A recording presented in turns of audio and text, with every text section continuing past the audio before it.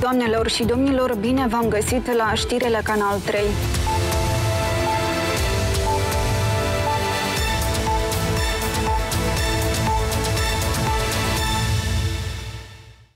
Канал 3 увеличит в нынешнем году долю собственного контента. Первым новым проектом в сетке вещания станут вечерние новости на румынском языке, которые будут выходить в 22.30, начиная с понедельника 17 января. Ведущая информационной программы журналистка Сабина Хирианов будет держать вас в курсе происходящего в Кишиневе, в стране и во всем мире.